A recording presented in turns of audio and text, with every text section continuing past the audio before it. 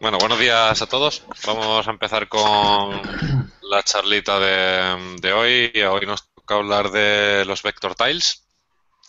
Vale, entonces lo de siempre, normal los enviaremos a todos los que estéis suscritos al formulario que hay en la página de desarrolladores.org, del apartado del artículo de Dev, Summit Live. Vale. Y no, voy a empezar a compartir pantalla. Esta va a ser principalmente una charla más teórica, aunque en algún momento eh, enseñaremos alguna cosita más, más práctica, ¿vale? De cómo se consumen y demás.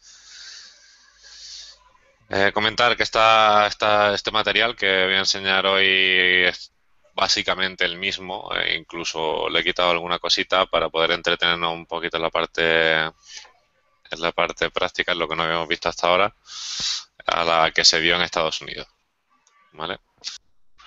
Pues nada, ¿qué vamos a ver? Eh, principalmente vamos a ver por qué hemos introducido Vector Tails en, la plataforma ArcGIS, eh, algunas consideraciones teórico-prácticas, algunas cositas de, específicas de, los Vector en ArcGIS, eh, los Vector Tiles, los mapas base vectoriales, cómo consumir y estilar los Vector Tiles, eh, eh, un poquito muy por encima, de aquí he quitado alguna parte de la parte de creación de Vector Tiles, ¿vale? Porque quiero centrar más la charla en la parte de desarrollo que, en la parte de creación de Vector Tiles, pero si os interesa esta parte, os animo a que veáis esa charla de Estados Unidos, ¿vale?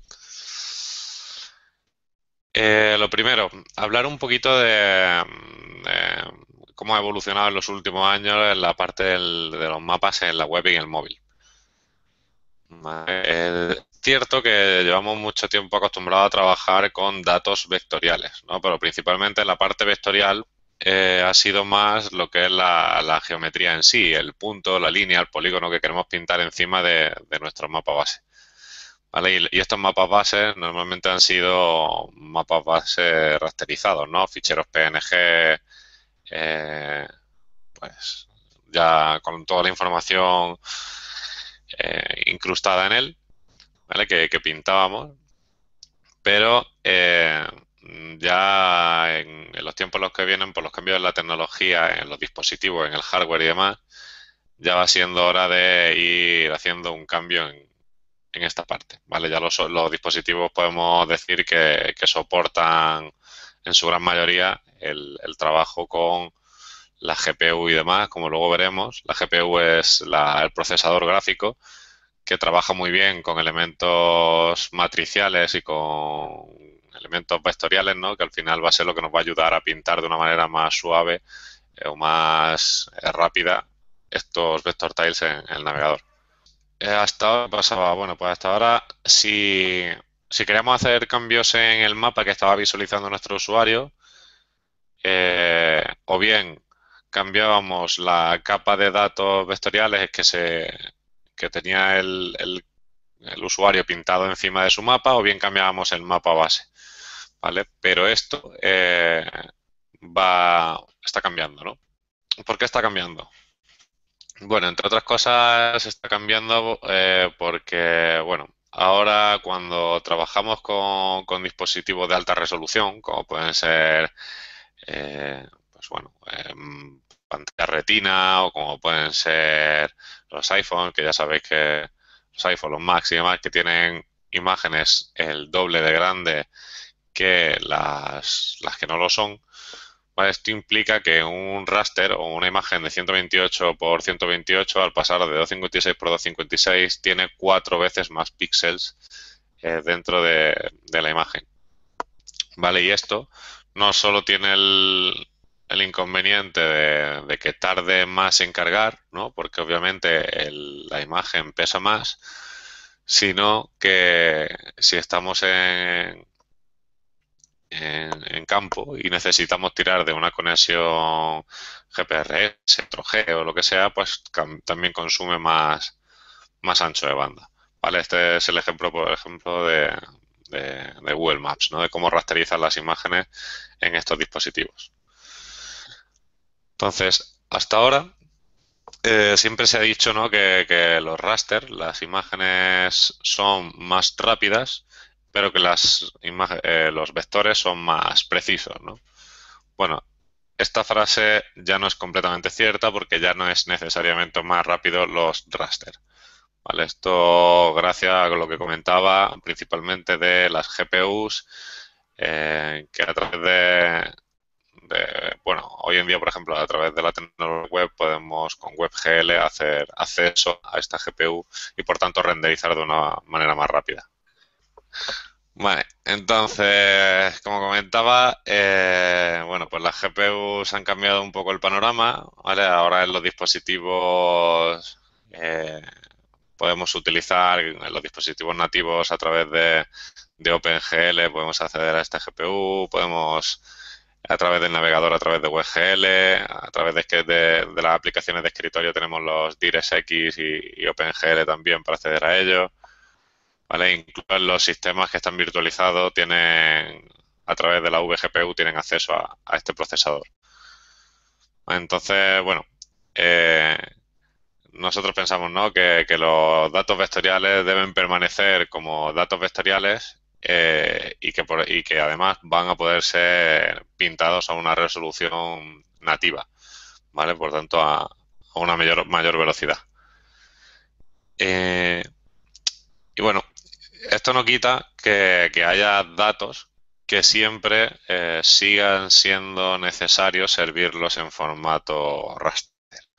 Las fotografías vía satélite no tendrán sentido pues vectorizar una fotografía satélite, ¿vale? Luego veremos que hay enfoques híbridos para resolver algunos de los problemas de, los raster o de las imágenes rasterizadas.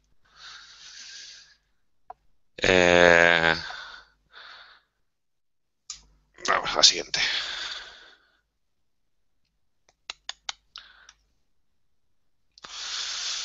Bueno, algunas de las ventajas de usar vector tiles. Vale, pues la primera ya la hemos comentado, ¿no? El, poder pintar a una mayor resolución. Eh, por tanto, eh, mejorar la calidad del mapa. Por otro lado, eh, enviar menos bytes de información a través de la conexión de red cuando descargamos un, mapa, ¿vale? Ahora al enviar el, vector ocupa menos espacio y por lo tanto es más eficiente de las ventajas es el etiquetado dinámico. ¿Qué significa esto?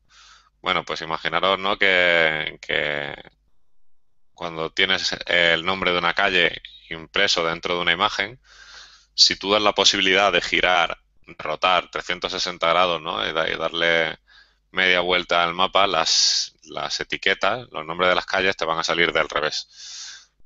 Por todas no van a ser fácilmente legibles, tendrás que girar, pues si estás en un dispositivo móvil, en un móvil o una tablet, tendrás que girar el dispositivo, por lo tanto, eh, lo hace menos usable o, menos legible, ¿no? Entonces, eh, una de las ventajas de los vector tiles es que esto lo podemos pintar en el vuelo y si va girando el mapa podemos repintar, como vemos en este ejemplo, ¿no? Eh, tenemos las calles mirando para nosotros y una vez giramos el parque, ¿vale? Vamos girando las etiquetas para que se pongan en la orientación que no sea más sencillo para leer. ¿Vale? Y otra de las ventajas es que vamos a poder cambiar el estilo del mapa. Vamos a poder cambiar el color de las calles, de los bordes de las calles, de las zonas de jardines, etcétera. esto lo vimos el otro día en la sesión, eh, no me acuerdo si fue la exprimiendo la plataforma ArcGIS eh, engancharé a este vídeo también enlace a esa parte por si alguno tenéis interés en ver cómo se estila un mapa con ArcGIS, ya que como lo hemos visto una vez, creo que no merece la pena volver a, invertir tiempo en ellos y mejor contar cosas nuevas y ya está en otro vídeo. Y... Ah, bueno, y una cosa que se me olvidó comentar es que con el mismo eh, conjunto de datos, con los mismos datos en vectorial podremos crear diferentes estilos gráficos, cosa que antes no era posible. Antes necesitábamos regenerar todo el, todas las teselas, todas las imágenes para cambiar un estilo. ¿Vale? Y esta es otra de las grandes ventajas de, del vector style. Vale, aquí hay una consideración a que os quería comentar de cómo hemos hecho la aproximación desde, desde ERRI a la hora de implementar los mapas vectoriales. una de las cosas que se ha tenido en cuenta es eh, lo que se llama el, el overzoom. ¿Vale? ¿Qué es el overzoom? Pues bueno, a la hora de generar las teselas, lo que se ha hecho para optimizar el tiempo de generación del mapa vectorial y al mismo tiempo de la carga del mapa es en aquellas zonas del, mundo donde hay mucha información ya sea porque hay muchas calles, muchas casas o, lo que sea, ¿vale? Se ha hecho una mayor cantidad de teselas, ¿vale? Y en las otras, por ejemplo, en grandes parcelas del océano, donde inicialmente no hay, no tenemos o no tienes datos, ¿no? Porque tú puedes estar generando un mapa, ¿no? Y, no tener datos de esa parte.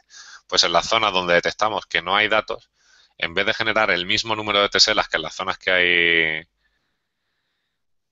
que hay datos, se han generado menos. De esta forma optimizamos mucho eh, la cantidad de espacio que ocupan estos mapas vectoriales y también pues la, carga.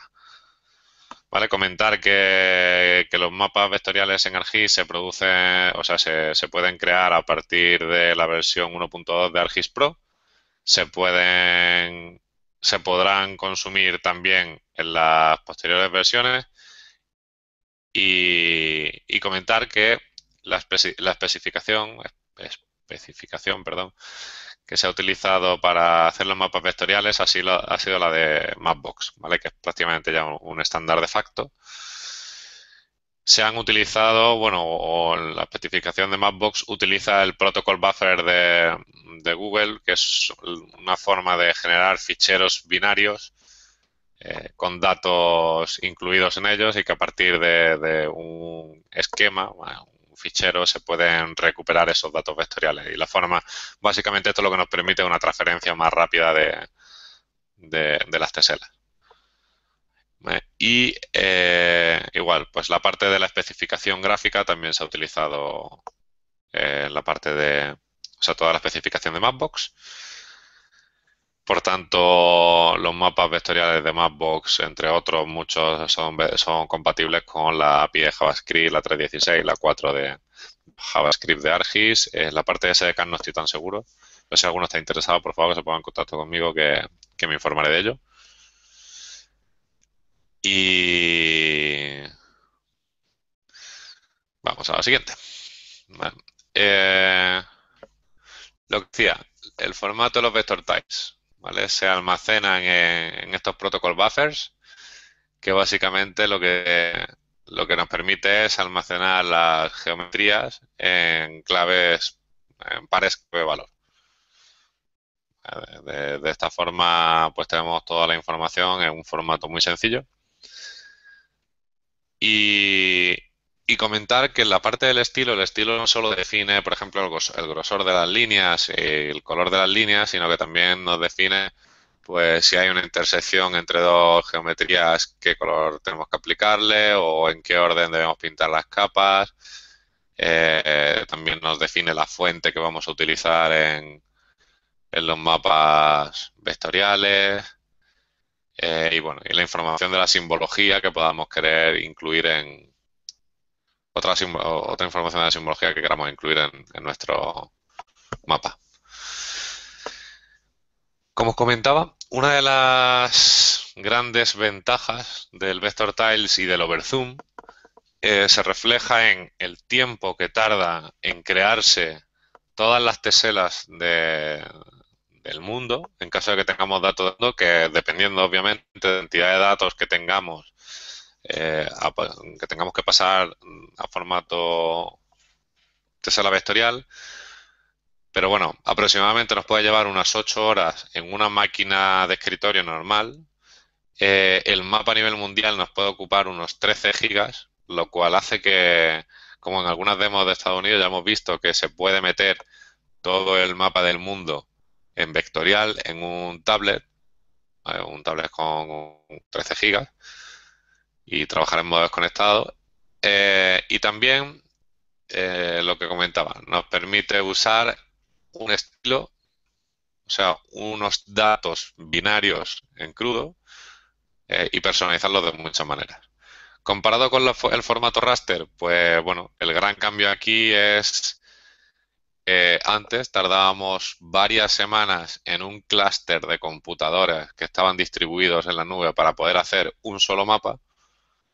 O sea, la, la potencia de cálculo era infinitamente mayor y la cantidad de tiempo de generar un nuevo mapa vectorial también era infinitamente mayor. Y el tamaño que ocupaba un mapa en tamaño, o sea, en formato raster, rondaba aproximadamente los 20 terabytes. Para quien no sepa lo que es un terabyte, son 1024 gigabytes.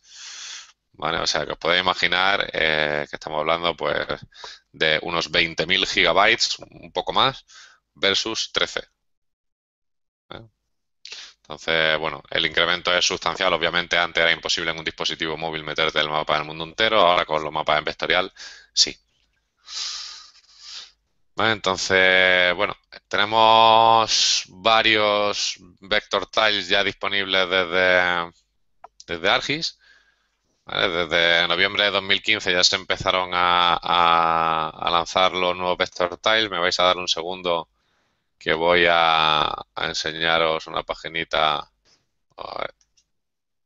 aquí que no sé si, si, conocéis. Bueno, aquí se supone que se van a ir poniendo los diferentes vector tiles que se van creando desde R. ¿Vale? Este es el, callejero. Déjame que me, voy a acercar porque os quiero enseñar una cosita. Eh, tengo conectado el rato,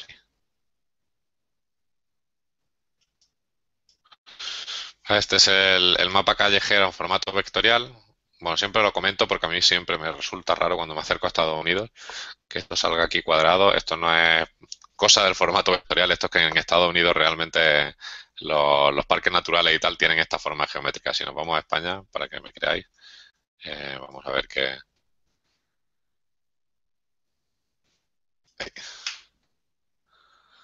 que esas extrañas que se ven en Estados Unidos, aquí no se ven porque aquí tenemos, somos más, menos organizados en esa línea, ¿vale? Entonces, bueno, pues fijaros, aquí por ejemplo tenemos este mapa callejero que es el mismo que teníamos antes, pero en formato vectorial. Uno de los cambios principales que se nota cuando estamos trabajando con mapas vectoriales es que cuando yo hago zoom, si os fijáis, en ningún momento se ve eh, pixelado la pantalla. ¿vale? Lo que nota es que se amplían las geometrías que ahora mismo están pintadas y conforme se están haciendo, se está cargando el detalle del mayor nivel de zoom, que es una de las informaciones que está especificada en los estilos, veréis que se van cargando nuevos polígonos, eh, líneas, polígonos y demás dentro de nuestro mapa. ¿Vale? Entonces, ¿qué os quería enseñar entre otras cosas aparte de, eso? Bueno, y aquí como podéis ver, si yo empiezo a, girar, a rotar mi mapa, podéis ver cómo las etiquetas siempre van mirando de la manera más horizontal posible. ¿Vale? Si os fijáis, aquí cambia la orientación, aquí vuelve a cambiar la orientación y demás. Otra de las cosas que podemos hacer es jugar con, combinar varios, varios mapas base. ¿vale? Voy a poner este que si os fijáis está cargando un mapa raster por debajo y encima le hemos puesto un mapa vectorial con etiquetas del mismo, el de callejero, semi-transparente. ¿Esto que nos permite? Esto nos permite jugar, por ejemplo, a hacer este tipo de, de efectos, ¿no? Donde el mapa base que había por debajo era el de relieve y por lo tanto nos añade la sensación de ese relieve dentro de nuestro mapa vectorial. ¿Vale? Y bueno, nada, pues igual que ese tenemos otros tantos mapas vectoriales. Vale, hay veces que tarda un pelín en esto principalmente es porque se está descargando los mapas vectorial, o sea, se está descargando los datos en vectorial y por otro lado se están pidiendo los estilos. Entonces, eh, cuando llegan los estilos al navegador, que vienen en formato JSON como vimos el otro día, el navegador tiene que pintar encima de todos esos datos binarios que ha recuperado del mapa vectorial para darle el estilo concreto que hemos descargado. Esto se está optimizando cada vez más y supongo que, que se pondrá bastante hincapié en que, en que, bueno, en que cuanto antes el, cambio sea casi a la misma velocidad la primera carga, porque si os fijáis, a partir de la primera carga ya, ya va más o menos igual, pues que la primera carga sea un poco más rápido. Se está trabajando en el tema de los CDNs en esta parte. Eh, esto me ha adelantado, esto era un poco lo que os quería comentar en esa parte. Lo que acabo de enseñar ahora. Y, bueno, comentaros, si no lo conocíais, que dentro de del blog de Harry, eh, y dejadme que os lo enseñe por si alguno no lo conoce, si queréis estar al día de, de las novedades que van saliendo respecto a, a los mapas vectoriales, si buscáis Street Blog eh, ¿Vale? Con que vayáis a cualquier artículo de estos, si filtráis por la categoría eh, vector, no me acuerdo exactamente es el nombre de la categoría, pero si vais al pie de cualquier noticia, veis que aquí tenéis varias categorías. entonces, vaya, va a ser que este no, no va a tener...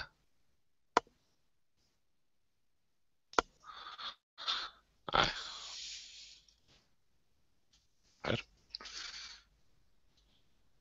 estar todas tagueadas. Juraría que incluso este lo cogí el otro día tagueado. Bueno, si buscáis aquí, veis las actualizaciones nuevas que van llegando. Os recomiendo que si os interesa mucho este tema, os suscribáis a, a todas las novedades que haya del blog porque van contando cosas muy interesantes como cambios internos en la especificación, eh, cómo se estilan los mapas. Por ejemplo, pusieron un... ¿Veis? Aquí tenéis vector tile. Eh, pusieron un cómo, cómo se creaba tu propio mapa vectorial. Y aquí podéis filtrar por todas las novedades. ¿Veis cómo se customizan, introduciendo los vector tiles? ¿vale? Y van sacando eh, información bastante, bastante interesante, ya digo, incluso de, eso, de cómo funciona internamente los mapas vectoriales.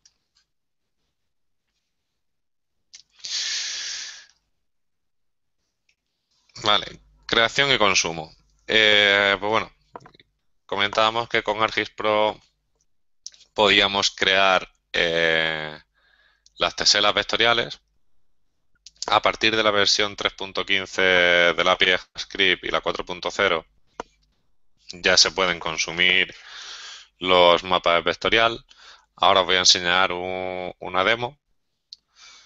¿Vale? Y, y bueno, la parte, a partir de la versión beta 2 de, Quartz también se podrá consumir los vectorial. Bueno, de hecho ya, ya se pueden consumir en algunas SDKs y me voy a dejar que haga otro pequeño stop para enseñaros eh, cómo funciona en la API de JavaScript, en la 3.16 y en la 4, cómo se consumen los vector tiles, ¿vale? Para que veáis que no es eh, más que nada. Vamos a empezar por el ejemplo de la 3.16, ¿vale? Este ejemplo que os voy a enseñar, básicamente, y déjame que vaya cerrando ventanas, que siempre me pasa lo mismo. ¿Vale? Este mapa está creado con la, con la API 3.16. ¿Vale? ¿Cómo se carga este mapa? Bueno, pues aquí tenemos el código. ¿Vale? En principio nada, cargamos la versión 3.16, el CSS y el JavaScript. ¿Vale? Necesitamos usar, y déjame ver un poco la fuente, pues alguien no lee bien. Necesitamos cargar de Sri Layers el vector tile layer, ¿vale? Como me gusta aquí un poco siempre recordando cómo se trabaja con la documentación de la API me vais a permitir que os, lo abra, la abra en un segundo, ¿vale? Me ahí la, la versión 3.16, la API reference, ¿vale? Y si yo aquí escribo vector tile layer, ¿vale? Aquí tenemos la descripción de cómo funciona y demás, ¿vale? Aquí nos dice el primer parámetro debe ser la URL, ¿vale? Y el segundo, las opciones que le queramos indicar. ¿Vale? Y aquí tenemos algunas de las cosas que le podemos indicar. En este caso, eh, no he hecho nada más que pasarle la URL, ¿vale? No he pasado ninguna opción. Y ahora me preguntaréis, bueno, ¿y la URL? Eh, ¿De dónde te la has sacado? ¿no? ¿Esto te la has sacado de la manga o, o qué? entonces, ¿de dónde sacáis esta, esta URL? bueno, otro día vimos cómo se generaba un ítem, ¿vale? Esta URL básicamente lo que tiene es el, eh, aparte de la información, vale, y déjame que lo abra un segundo y así no tenéis que hacer un acto de fe y creerme. Voy a abrir Postman para que veamos qué es lo que nos devuelve ese fichero. Si yo hago una petición get a este fichero, nos va a devolver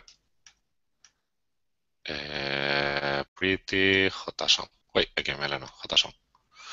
¿Vale? La información que incluye este fichero, que veis, si veis aquí la barra de scroll, es enorme, ¿vale? Son varios miles de líneas. Entre otras cosas, incluye cuál es el mapa base vectorial, dónde están los datos en binario que alguien creó en, en ArcGIS Pro y a través de los cuales va a empezar a pintar, ¿vale? Donde tiene la información de qué capas hay, eh, básicamente cómo se solapan, toda la información vectorial de, todas las geometrías y demás. Y luego tenemos eh, pues toda la información de las capas con su identificador y su nombre y los colores los que tiene que pintar. Si cogemos este ítem ID de la URL que yo he metido y nos vamos como hacemos ya habitualmente, y me veréis que seguiré haciendo para que todos nos acostumbremos a hacerlo. Si yo pongo argis.home barra home item.html y le paso el ID, ¿vale? Voy a llegar a la página de detalle de un ítem de, de un usuario de Argis Online. ¿Vale? En este caso, ese identificador es el identificador del mapa nocturno, como era de, esperar porque es el mapa que hemos visto ¿no? en, el ejemplo. ¿Vale? Que es un tile layer. ¿Vale? Entonces, lo único que he hecho aquí ha sido pasarle esta petición que devuelve el estilo de este ítem. Si yo quisiera usar cualquier otro mapa vectorial, eh, si yo en el buscador busco por owner 2 vector, ¿vale? Para coger alguno de los oficiales de RI, veis que aquí os va a devolver eh, varios elementos, ¿vale? Veréis que algunos son webmaps. Os recuerdo que lo que hay que pasarle es un tile layer. Así que filtrar por layers.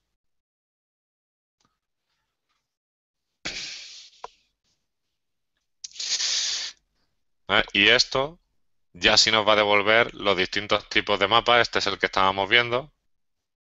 Bueno, es el Mature Support, ¿vale? Que tendrá alguna, mm, variación. Pero si yo, por ejemplo, vengo aquí a este, este grisáceo. Y yo cojo este identificador,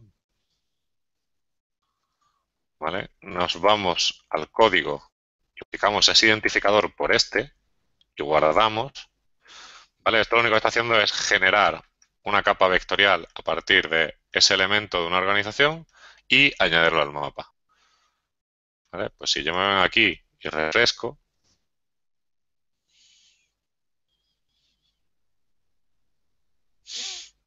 Esperamos a que cargue. Está cargando el mapa híbrido, que nos cargará varias capas. Ah, vale, perdona.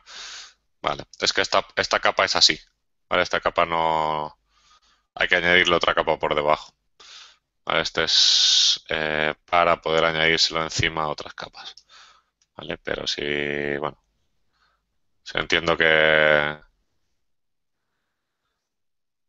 que eh, entendéis el concepto, ¿no? Al final es cojo, bueno, en este caso, este otro mapa, le cambio el identificador, guardo, refresco, ¿vale? Solo, este capa, capa tiene las carreteras y las etiquetas.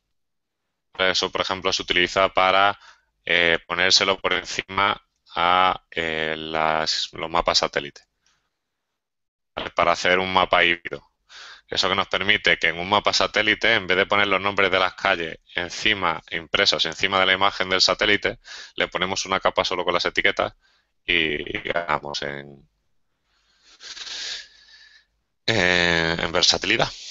¿Vale? Entonces, bueno, aquí hemos visto cómo se utiliza en la versión 3.16 de la API los vector tiles. En la versión 4 es prácticamente igual. ¿vale? No hay inicialmente gran diferencia. Cogemos, ya sabéis, MapView, estuvimos hablando ayer de ello, y el Vector Tile Layer, que está en la misma, la misma ruta. ¿Cuál es la diferencia aquí? Bueno, aquí le dices que en vez de pasarle un parámetro como cadena de texto, aquí le pasamos un objeto, ¿vale? Y en el campo URL le pasamos el mismo, el mismo elemento. Vale, aquí te comenta, bueno, que por ejemplo que en este campo, en, este caso, pues aquí es donde está, en esta ruta es donde están los datos en binario que se utilizan en el mapa y, aquí el estilo. Vale, este ejemplo si lo abrimos en, no vamos a notar la diferencia, básicamente porque es el mismo mapa nocturno que he creado antes, o sea, que he cargado la primera vez, pero en esta ocasión eh, haciéndolo con, con la API 4.0. A ver si quisiéramos ver un poco más la, diferencia. Eh, bueno, no sé si me va a dejar esto cargarlo así y en vez de MapView le digo eh, Scene View y me lo voy a jugar porque tampoco me lo sé de memoria todavía. Vale.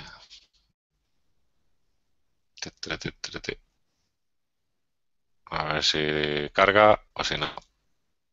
Eh, eh, view, Scene View, me, la, he jugado y no me ha salido. Pero bueno, la idea es aproximadamente la misma. ¿vale? Eh, bueno, como siempre, las cosas que no me salen luego las engancharé en un vídeo eh, donde explique qué era lo que me ha pasado aquí, ¿vale? Que no, no sé, no, no lo tenía preparado, he querido improvisar un poco. Vale. Eh, ya hemos visto cómo se consumen los mapas vectoriales de ArcGIS dentro de la API 3.16, bueno, en la 3.15 era igual y en la 4.0. ¿Vale? Eh, esta parte es la que os decía que me iba a saltar un poco porque, bueno, no voy a hacer la demo, voy a contar las transparencias porque voy a enlazar la parte del vídeo que vimos el otro día donde, donde hice el ejemplo de cómo estilábamos un mapa. Entonces, simplemente por, por recalcar las formas que hay de usar los vector tiles, pues bueno, podemos, uno, hacer uso de los vector tiles como estaba haciendo yo ahora mismo, los que hay originalmente de, de Esri. Dos, eh, podemos coger eh, los vector tiles de R y cambiarles alguna cosa. Podemos coger los mapas grises y en vez de hacerlo gris claro, hacerlo en otra tonalidad o lo que queramos, eh, o eliminar algún, pues yo que sé, por ejemplo, si no nos interesa que estén los edificios, eliminar la representación de los edificios hasta que hemos ajustado, guardarlo en nuestra organización y consumirlo. Entonces, hacer un mapa derivado a partir de uno de R o la tercera opción, que si tenéis conocimientos y datos, eh, pues podéis crear vosotros vuestros propios vector tiles. Desde Estados Unidos, igual, repito, hay varias demos explicando cómo usar el Pro para crear estos vector tiles. Igual, si tenéis interés alguno, eh, no dudéis en escribirnos que, os, pasamos el enlace o, lo metemos en el vídeo o, o lo que haga. entonces, bueno, este es el proceso para resumir un poco lo que vimos el otro día, que era hacer una copia del estilo, editar el JSON, guardarlo, ¿vale? Y, tirar para... y, consumirlo, ¿vale? Y recordaros que teníamos varios editores, ¿vale? Estaba el, el editor más sencillo y digamos que, que trabajaba más en crudo, ¿no? con el dato que era este, que si no recuerdo mal también lo había hecho René Rubalcaba, otro de los desarrolladores de, Estados Unidos y que está el código en GitHub, ¿vale? Donde cada vez que copiéis, no voy a hacer la demo completa, ¿vale? Pero solo por refrescar un, par de, de, conceptillos, ¿vale? Cuando os identificabais, fijaros que esto está en el repositorio de GitHub, ¿vale? Os van a salir aquí los vector tiles. Si no tenéis ninguno, pues nada, recordad que una vez estéis identificados, por ejemplo, en vuestro editor de mapa, es una de las formas de hacerlo, ¿vale? Pero lo podéis hacer en cualquier otra parte.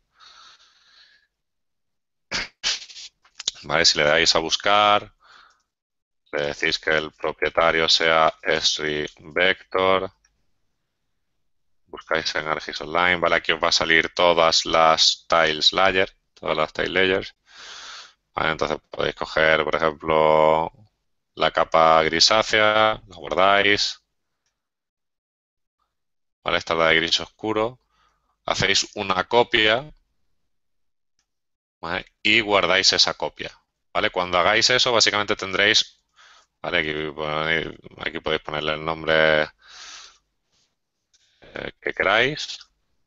¿Vale? Y cuando le deis de aquí a crear ítem, esto básicamente os va a generar ítem de vuestra organización que cuando refresquéis aquí os aparecerá y podréis empezar a estilar. Aquí veis Dark, Dark Gray Canvas mío. ¿Vale? Y a partir de aquí ya podréis estilarlo. ¿Vale? Como hicimos el otro día.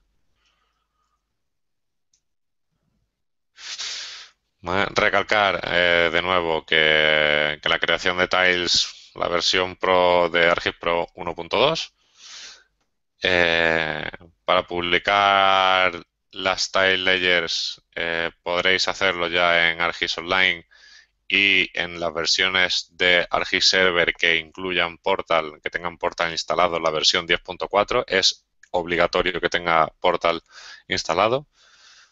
Vale, comentar que se han creado algunas herramientas de geoproceso para el tema de la optimización, del overzoom que hablábamos antes y demás, y, también se han actualizado algunas de las herramientas que habían para subir eh, teselas a, a la nube, básicamente eh, por el tema del tamaño que tienen estas herramientas, ¿vale? Si vais a subir unas teselas que ocupan 13 gigas, ¿vale? Pues estas herramientas establecen, bueno, están más preparadas para que si hay cortes en la conexión y demás, pues no tengas tantos problemas a la hora de subir ese fichero. bueno, luego, pues nada, comentar un poco la estructura que tiene un servicio, de, telas. Tiene el fichero root.json, que es el que hemos visto ahora, que es ese fichero JSON que incluye la definición del servicio, los colores y demás. Eh, tenemos la, todo mencionar que todo esto está explicado en uno de los artículos del blog de Estados Unidos, ¿vale? Por eso digo que es muy interesante eh, tenerlo por lo menos controlado.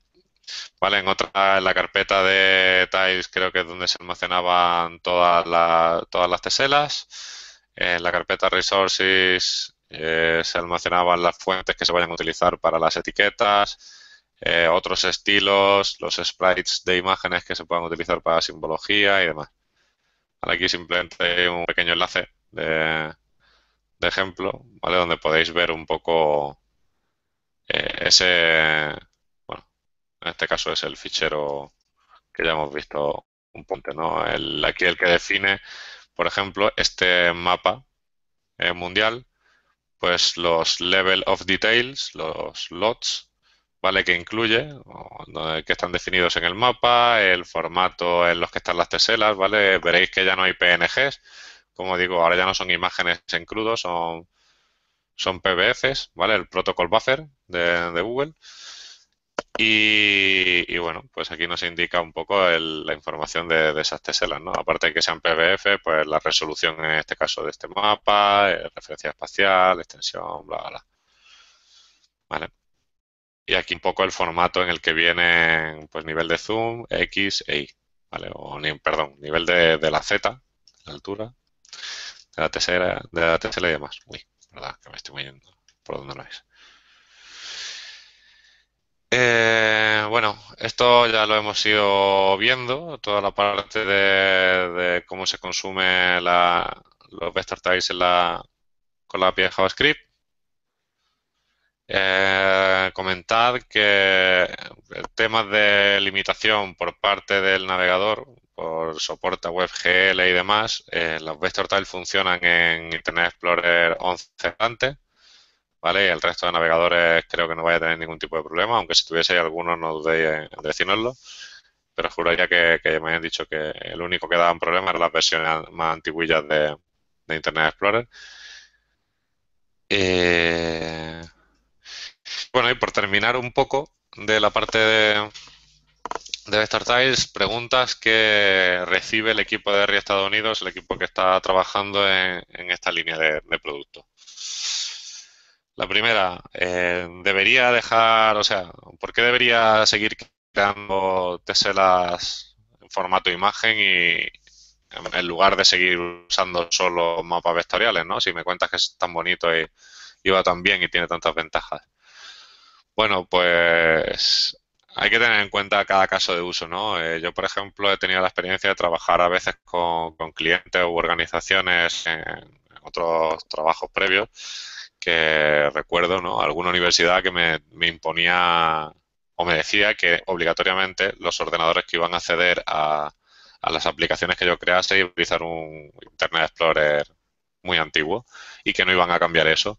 Bueno, pues por ejemplo, si tenemos limitaciones por parte del cliente o, o, o, de los datos, ¿no? Por lo que digo, imágenes satélite eh, que no tiene sentido hacer directamente en vectorial, pues, pues bueno, pues seguirán, conviviendo ambos eh, formatos eh, en el presente y en el futuro. Hasta ahora no se ha encontrado una forma de, evitarlo y, no, no, no, veo una solución sencilla. Tienen que coexistir. A nivel de seguridad, eh, claro, estamos diciendo los, datos vectoriales de, mi mapa los estamos metiendo en los protocol buffers, estamos diciendo que con un esquema yo puedo leer los datos que vienen ahí. Entonces, oye, ¿alguien podría eh, copiarme mis, mis datos? Pues, a ver, normalmente la respuesta que dan desde Estados Unidos es que los mapas vectoriales no suelen incluir toda la información de, del propio de, nuestra propia base de datos. Nosotros a la hora de crear un vector tile solemos generalizar y generar unos datos derivados a partir de nuestros datos. No son normalmente eh, exactamente los mismos. Y al final también pues eh, se solapan algunos datos y demás. Por lo tanto, todo este, este proceso se hace para optimizar el, dibujado y demás. Y igualmente no es necesario cuando creamos un mapa enviar todos los atributos en crudo de nuestros datos. O sea, simplificamos mucho los datos que enviamos. Sabiendo eso, el resto, pues sí, se puede coger y se pueden leer esos datos finales. Tener en cuenta que nunca serán esos datos eh, originales de los que teníamos nosotros en nuestra base de datos. ¿vale? Igualmente, eh, si la seguridad es algo importante, eh, bueno, pues tendríamos que controlar el acceso a nuestros mapas vectoriales. Lo publicamos en una intranet y le damos acceso a, usuarios que tengan permisos para ello. Eh, ¿Por qué de momento no veo un botón de compartir como Vector Tiles en ArcGIS Pro? Bueno, de momento no está ese botón, eh, pero estará. De momento hay que utilizar las herramientas de geoprocesamiento para publicar estos Vector Tiles, eh, básicamente por cuestión de tiempo, por lo que todavía no hay ese botón ahí. Pero en el roadmap de producto está, meter ese, introducir esa opción en ArcGIS Pro.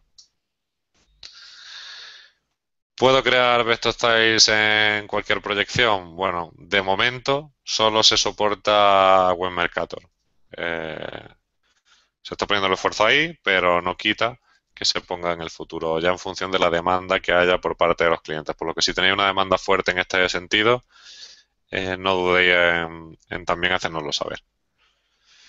Eh, puedo coger los datos, los hechos con, con raster y hacerlos como vector tiles.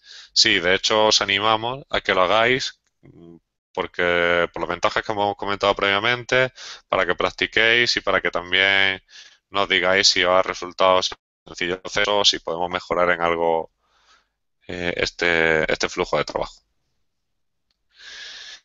¿Soportará ARMAP eh, los vector tiles? Pues siento deciros que, que no se considera inicialmente que ARMAP vaya, vaya a poder consumir vector tiles.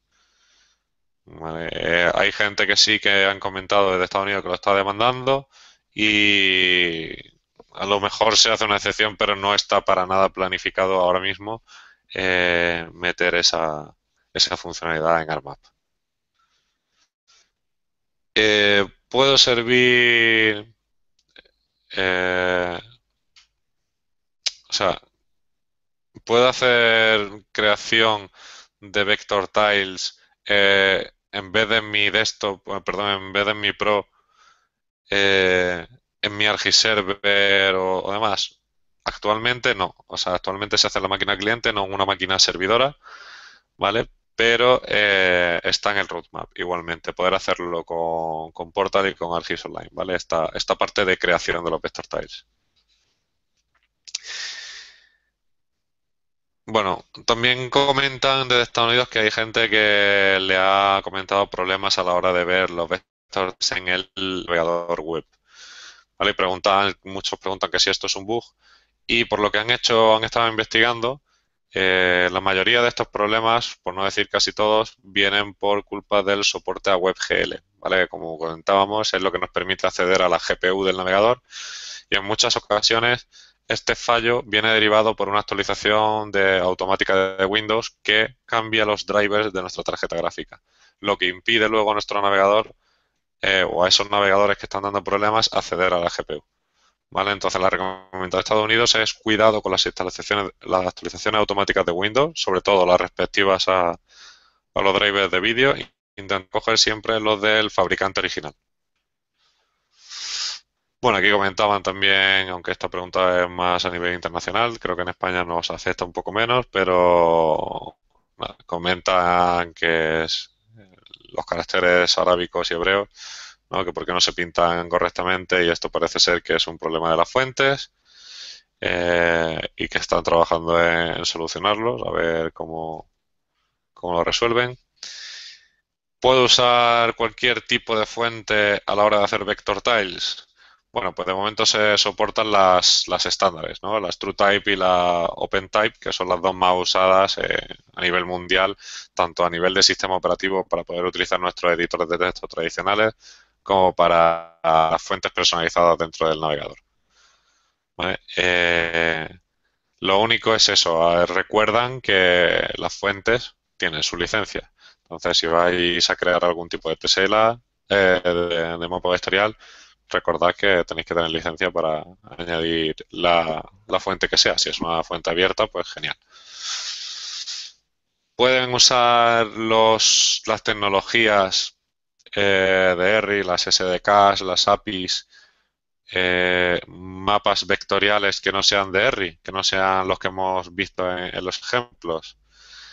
Eh, ese es el objetivo y de hecho ya hay algunos ejemplos. Yo, por ejemplo, he hecho integraciones con Mapbox, hemos hecho integración con los mapas de Stamen, hemos hecho integración con, varios servicios de mapas que, actualmente ya funcionan. Igualmente, si tenéis interés, me lo decís y en la página de ejemplos de la API en la parte de JavaScript no tengo ningún problema en ponerlo. El resto de SDKs y demás todavía no los he probado, no sé eh, cómo está el soporte eh, de, ese tipo, de, esos mapas.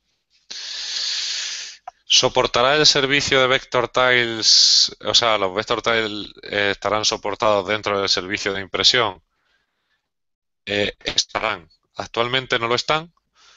Si intentáis dentro de una aplicación web meter un mapa vectorial, el widget de impresión e intentar imprimir ese mapa que podéis haber personalizado y demás, ahora mismo como no lo acepta, eh, lo que hace es va a sustituir ese mapa vectorial y va a poner el mapa callejero eh, en raster, ¿vale? En imágenes.